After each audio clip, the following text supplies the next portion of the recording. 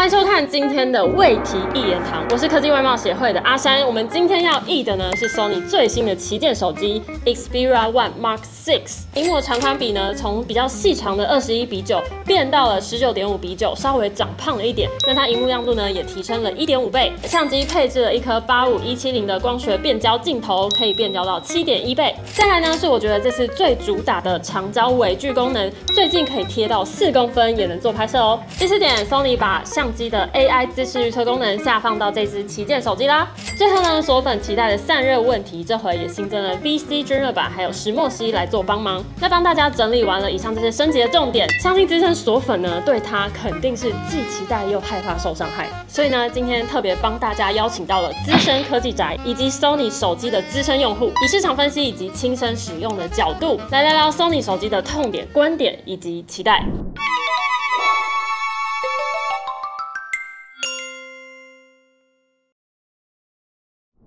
嗨，大家好，我是资深科技宅蓝猫啦。嗨，大家好，我是资深 Sony 用户 Pauline。我曾经也用过几支，然后 Pauline 呢，就是目前的 Sony 手机使用者，对吧？对，我从 Sony Ericsson 跟 Sony Xperia 一出用到现在。哦。然后我对 Sony 啊，心中对它有爱，也有很，也有觉得。恨，哎，没不会，恨铁不成钢那种感觉。哎，Sony 一直以来，它其实有很多的黑科技，大家的感光元件都是他家做的，可是他家的相机用自动拍起来，就是没那么没那么讨喜。哎，那 HDR 也做的有点差强人意啊。那大家有一个好的话，就是说，哦，Sony 的手机拍起来就是比较有相机感。哎，对，哎，比较自然一点。可是讲不好听的话，就是其实就不是那么讨喜。而且他们家的人像摄影啊，它背景虚化的效果，其实很多年之后才跟上大家。我觉得大部分的人就是喜欢自动拍嘛，那么多参数，其实也不用给我，我人家用手机就是。图个方便，市场的表现其实这些年来，Sony 虽然一直稳在那边，但也不能说他们就是销售最好的手机品牌之一，有点可惜。那我很好奇，为什么 Sony 资深用户要买 Sony 手机？最刚开始的时候，其实就是因为对韩国的牌子没有太大的兴趣。最刚开始，因为我是最刚开始 Ericsson 的时候在用的，那时候中国起牌子的特殊性还没有起来，又很喜欢日本的文化，而且 Sony 他们很喜欢就是跟一些作品结合，就是例如手机里面买来新的，它就会有当季的作品、最新的电影试出预告放在里面。这种结合会让人觉得很有吸引力，挺好。用了多年之后呢？啊，现在还在用啊，现在还在用，还在用，哎，执迷不悟，还在用啊，执迷不悟啊。总是会有一些大家都知道的问题，然后每次期待它改都没改，过热啦，太长，打游戏的时候手离这么远。大家都知道说你的相机很好，但是按到那个特殊的详细规格那些的时候，你真的要去拉，你真的没有办法理解到底该怎么去操作比较好。他希望专业使用者可以在手机上体验到相机的感觉，然后一般人。也会觉得说，哇，里面有一些专业的功能，好像觉得可以自己更专业，结果反而两边都不见得讨。对，那这支旗舰机出来了，有什么期待？对不对？期待呢？嗯，使用相机可以更直觉，我觉得使用直觉是现在很多手机都会有的一个东西，但是 Sony 一直来都做太复杂。所以这一代纵观各方面来说，不管它是不是保有它本来的特色，可是它有没有向市场靠拢，去符合说现在多数人的期待，这一点我蛮期待的。接下来，这次呢，我们受到 Sony 官方的邀请，要到宜兰一日游，帮他解惑，看看资深用户们在意的这些点有没有改善，符合日常的使用喽。宜兰出外景啦！今天呢，我们来到的地方是宜兰礁溪的候鸟语路，这是一个露营区。它除了有户外的帐篷之外，也有露营车，然后还有咖啡厅，可以让我们做拍摄的体验。前面其实你跟 Sony 的资深使用者就提出了一些疑虑，恨铁不成钢那种感觉。所以今天在这边有几个实拍的景点，大家就来看看这次的旗舰机表现的怎么样吗？呃，首先我们来看一下手机的外观，它的材质很特别。很感动，它后面的材质啊，我觉得对于像我这种有手汗的人非常有手汗狂魔，没错，完全不沾指纹，因为它是有颗粒感的，然后是磨砂材质，加上它的边框是有直条纹的刻痕，所以其实在握持感上面就是很防滑，很有安全感的那种感觉。整体外观也保留了很棒的传统三点五 mm 的耳机孔，对，然后信卡槽也还在，锁粉喜欢的都还在，就是 Sony 精神呐，保留在这一台最新一代。它这次的荧幕呢，从二十一比九变成十九点五比九，稍微胖了一点，但其实我觉得，哎，这点很贴心，就是因为有去考虑到现在使用者的操作需求，近年来专业比较多，所以就改成这样，不会去影响到观看的质感。哎，我觉得是与时俱进啦，去配合到现在使用者更多的使用习惯。那这点好像。有回归到回归市场需求，市场需求这一点给过。那这一次呢，Sony Xperia One Mark Six，它配置了三个镜头，一颗是十六 mm，第二个主镜头是二十四 mm，然后可以光学的两倍变焦到四十八 mm，然后第三颗镜头就是这次最特别的八十五到一七零。七点一倍光学变焦，七点一倍光学变焦，它不是透过数位放大，是光学变焦，所以就可以得到很不错的画质。那待会呢，我们在室内就测试看看这几个人像拍出来效果如何。那我们要拍摄位置呢，就在后面这个窗框旁边，窗外有比较强的光线透进来，所以这样也可以看看相机它在光线的调整上表现怎么样。大家可以看一下它亮部暗部的处理是如何。然后我自己觉得，哎，这次 Sony 的摄影界面很特别。你如果点按荧幕上你想要拍摄的焦点之后，它左边会出现一个可以直接调整色温的拉条，右边就是会有调亮度的拉条。其实我觉得这样蛮直觉的。那我们就直接来试试看。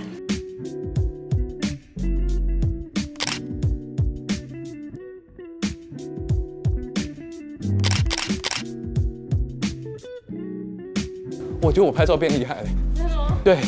这是七点一倍的，窗户进来的光线让他的皮肤很柔和，对，非常柔和，就不会很锐利。这一次呢，它的相机界面也做了很大的升级。之前它的专业模式 Pro 模式是另外独立出来的一个 App，但是它现在直接整合在同一个相机套件里面，所以其实这样操作起来就更方便。在最下面的栏位就可以直接去切换你想要拍摄的模式，拉到最左边就可以看到是专业模式，方便超级多的。这也是战如流的一个做法。那接下来就我们要测试的呢，就是这一次主打的长焦超微距摄影。哦，长焦超微距啊！为什么超微距呢？因为他说最近对焦距离可以到四公分。在哪里可以找到它？就在下面功能列滑到更多，这里就可以看到有长焦超近拍摄。但是它蛮特别的，因为我一开始以为它是点按荧幕可以对焦，可是它其实是手动拉这个滑杆去对焦。然后你如果有对到焦，它就有出现那个辅助的峰值对焦，很有那种专业摄影的 view 啊。没错，那我们现在后面呢有一些实物，我们就来实际看一下它微距拍摄呈现出来的表现怎么样。想要先拍这个巧克力饼干，看它的那个食物纹理。我现在这样距离大概几公分啊？三十公分左右。我现在看一下，哎哎，哦，有哎，看起来油亮油亮的。那刚刚有提到四公分，我现在要来超近距离拍什么呢？拍仙人掌的毛。这样有四公分吗？这样再近一点。再近一点，我快被很怕刺到，真的超近了，快贴到它了。然后我调这个对焦。哇塞，真的超清楚的！我来拍一张给大家看。哇哦，很厉害！通常拍微距不是会觉得画面很锐嘛？但其实它很细致。那接下来我们拍柳橙，我来看一下。哦，上面有一只苍蝇，下上面有一只苍蝇。苍蝇，苍蝇在吃柳橙，在在喝果汁。我看到它吸管在柳橙里面这样。你看。你有看到它吸管插进去啊？好恶哦！其实我觉得拍食物，通常我们会距离远一点，然后开长焦，就可以有那种压缩感，食物看起来就会比较好吃一点。就是可以善用这个，例如说我现在拍这盘肉，咔嚓，哇哦，真的很不错哎。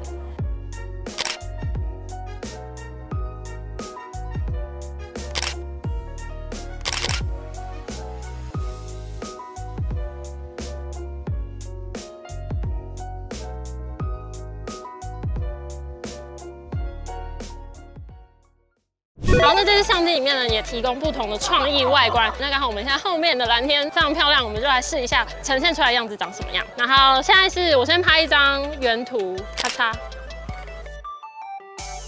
然后第二张是自然，哎，它会比较饱和度偏低一点。第三张是生动，应该蛮适合拍食物的。还有整个明亮度都提高。再来是电影模式，哦，电影很漂亮哎，它的蓝色刷淡了一点。再来是怀旧，怀旧整体的饱和度偏低，然后有点偏黄。最后是明亮，明亮很适合拍日系，就是有一种那个新海诚的感觉。对我觉得明亮蛮漂亮的，所以这几个创意外观提供给大家做参考。好，因为其实松井他很厉害，又是 AI 的追焦，然后这次有一个 AI 的人像姿势预测，然后现在人在室内，这边呢有前景，就是窗框，待会蓝梦会从外面走过去，我们就来看看他能不能侦测到人物，然后进行对焦。Go。哎，看来他被视为非人类。再一次哦，再一次哦，Go。有有有有，好，再回来一点点，停停停停停，哎呀，再回来，好好在那里不要动。哦哦，有有有抓到人了，有哎，所以其实就算前面挡了窗框跟那个吊饰，它还是可以从肢体去辨识出懒猫的脸在哪，然后就把它锁住。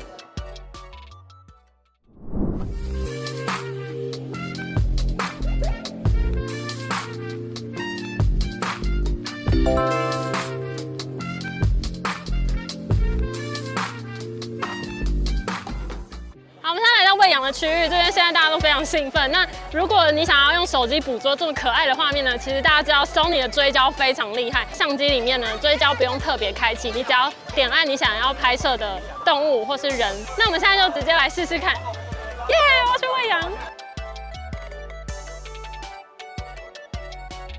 现在超多只羊妹妹在这，然后你看，它会自己去追羊妹妹的头。啊，它追到眼睛了。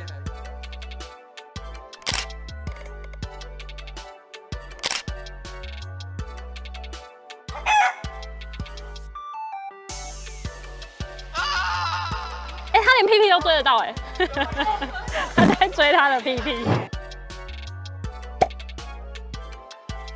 这是卡皮巴拉，是水豚。卡皮巴拉巴拉巴拉，哎，好可爱！我跟大家说，这么可爱的水豚君，我们就来用围具来看它的毛流长怎样。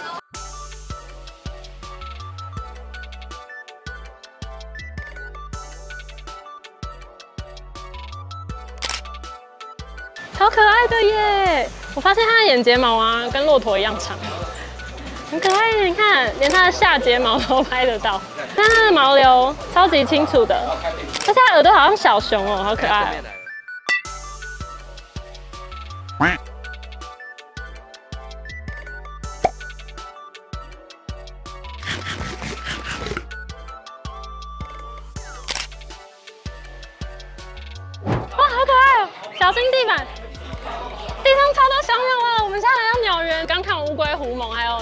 我们来看看它的动态追踪能不能拍到小鸟。哎，要小心哎，在地上有可能会踩到。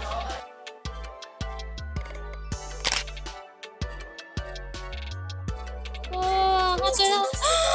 哇塞，嘿！哇，它追到！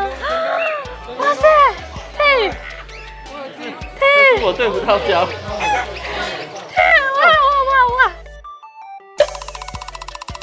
为什么炸毛啊？好可爱哦！天生的吗？你好可爱哦！这是川普，我看是川普。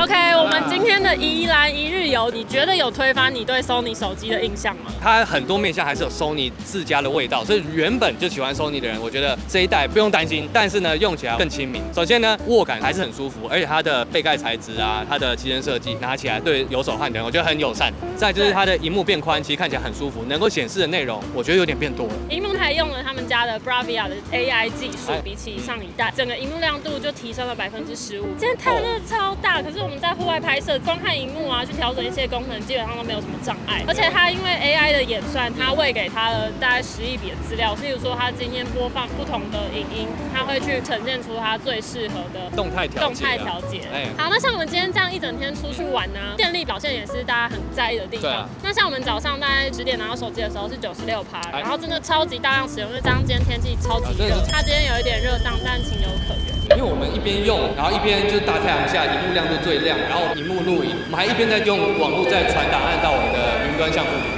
还可以留五十几趴。错不错，因为官方是说，如果一般使用待机续航的话，可以两天。两天，我觉得是有机会办得到的，因为毕竟今天我们真是很用力的操它这样子。觉得拍照如何？其实我今天在切换这些功能的时候，我觉得其实跟我自己平常手机用起来的感受是差不多的，直接明了，不会说哎藏得太深找不到在哪，体验起来还不错。至于说照片拍起来怎么样，其实呈现出来的照片质感不会有人工演算过度的那种，尤其是在尾距的时候，我觉得超厉害的。虽然它没有办法透过荧幕去触控。对焦，我自己是比较不喜欢这一点哦，因为通常我去摄影啊，当然都还是靠手动对焦，东西太小，你很难确定说你要对他的屁股，还对他的头这样。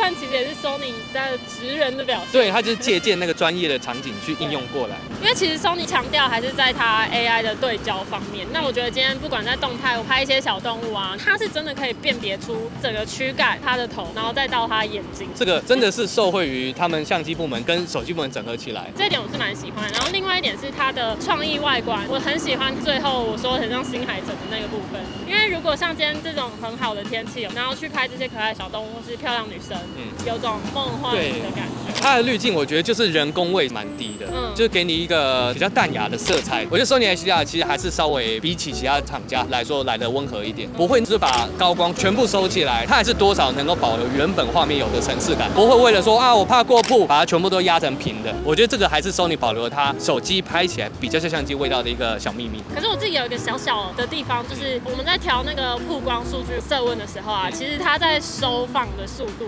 有一点缓慢，哦，它不会很迅速的到达你调的那个点，所以你会以为说，哎，还没有，还不够，结果相片就太黑。我我自己拉的时候是觉得它一边拉，可是它好像又一边在考虑说，哎，我要不要 HDR 一下？我觉得有点拖慢它的速度。所以其实可圈可点，那还是有一些可以更好的地方。那今天这样子实际体验下来，不知道大家如果出游的话，会不会考虑这部手机呢？那如果对 Sony 的 Xperia One Mark Six 有什么想法的话，都欢迎在留言区跟我们做互动哦。喜欢我们的影片，记得一定要按赞、订阅、加分享。我们下次再见喽！